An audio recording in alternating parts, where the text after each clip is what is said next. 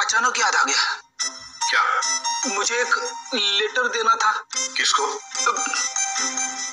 तारिका को।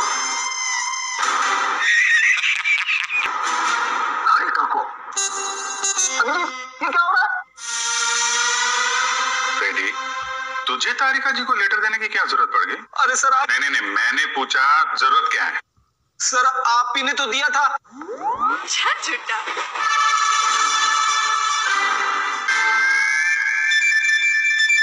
लेकिन वो तो वो तो दस दिन पहले दिया था ना। सर दस दिन से जेब में पड़ा है। दस दिन से लेटर तो जेब में लेके घूम रहा है? हाँ सर। दस दिन से तूने पैंट नहीं बदली? नहीं। सर पैंट बदली थी मगर लेटर जेब में रह गया। Sir